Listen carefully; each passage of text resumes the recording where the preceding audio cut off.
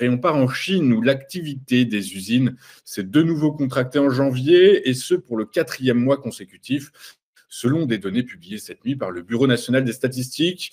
Et selon les experts, l'économie du pays souffre toujours d'une faible demande intérieure. L'indice des directeurs d'achat est donc ressorti à 49,2 en janvier contre 49 en décembre. C'est donc une légère amélioration, mais l'activité industrielle du pays reste en zone de contraction. L'indice PMI non manufacturier, qui inclut notamment les services, reste lui en territoire positif, augmentant à 50,7 en janvier contre 50,4 le mois précédent, toujours selon des données publiées par le BNS.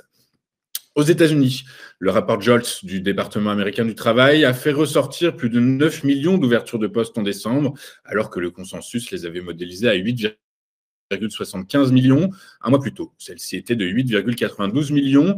Il est possible que du côté de la Fed, cette donnée ne milite pas en faveur d'un pivot rapide, les stages espérant un ralentissement marqué du marché du travail. C'est une mesure qui a pris de court une partie de la communauté économique. En effet, hier ont été révélées par Eurostat la première estimation du produit intérieur brut de la zone euro pour le quatrième trimestre. Et contre toute attente, donc, l'économie du bloc est restée stable par rapport aux trois mois précédents, contre un recul de 0,1% au troisième trimestre. Sur un an, la croissance est ressortie à 0,1% après s'être affichée nulle au troisième trimestre. Les économistes interrogés par Reuters prévoyaient en moyenne une contraction de 0,1% sur le trimestre et une stagnation sur un an. La zone euro échappe donc de peu à la récession qui, comme je vous le rappelle, est caractérisée par deux trimestres consécutifs de baisse du PIB. En France, le PIB, lui, est resté stable au T4 2023 et a progressé de 0,9% sur l'ensemble de l'année après 2,5% en 2022, a annoncé hier l'INSEE. Enfin, l'Allemagne a, elle, enregistré une contraction de 0,3% de son activité au T4 indiqué des statistiques, ce recul reste conforme aux attentes. Notons tout de même, et c'est intéressant, que sur la moyenne des cinq dernières années, la croissance moyenne du PIB français a été de 0,7%, supérieure à celle de l'Allemagne, qui, elle, a été de 0,3%. Enfin, faisons un retour sur les publications d'hier à Wall Street, et les investisseurs n'ont pas été impressionnés par les résultats trimestriels des géants de la tech, Alphabet et Microsoft. Les deux sociétés ont publié des revenus et des revenus, enfin, ont publié des résultats meilleurs que prévu, mais les actions ont tout de même baissé en après-bourse. Alphabet a reculé de 5,7% et Microsoft de 0,23%. Je vous rappelle qu'Amazon, Meta et Apple publieront leur compte demain en après-bourse. Faisons maintenant un rapide tour de ce qui s'est passé sur les principales places boursières de la planète hier et en Europe. Les principales places boursières ont clôturé en hausse, des hausses timides, les investisseurs restant prudents à la veille de l'annonce de la politique monétaire de la Réserve fédérale américaine.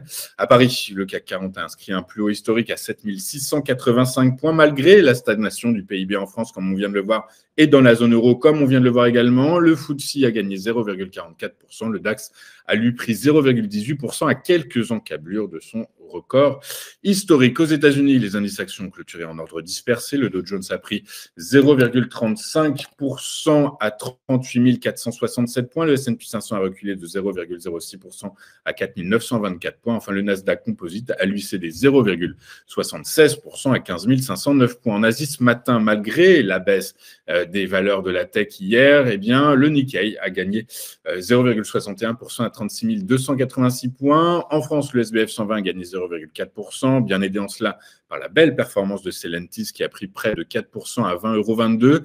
Le titre du constructeur automobile est tiré vers le haut par les résultats solides de General Motors. L'inverse, Valourec a fini lanterne rouge, son titre ayant accusé un repli de 6,26% à 13,10 euros. Sur le Forex, l'euro a gagné 0, a gagné à grappiller 0,07% face au dollar à 1,0841. Les cambistes anticipant une politique moins accommodante de la Fed après la posture prudente de la BCE la semaine dernière. Sur le marché obligataire, le Bund à 10 ans a gagné 4 points de base à 2,278%, tandis que celui du toit 2 ans a pris, lui, un peu plus de 5,5 points de base à 2,5325 à l'heure de la clôture.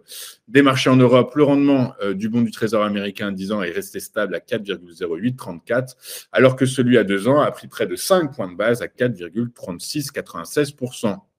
Enfin, sur les marchés pétroliers, alors que les points de tension géopolitique se multiplient à travers le monde, les prix du pétrole ont clôturé hier dans le vert.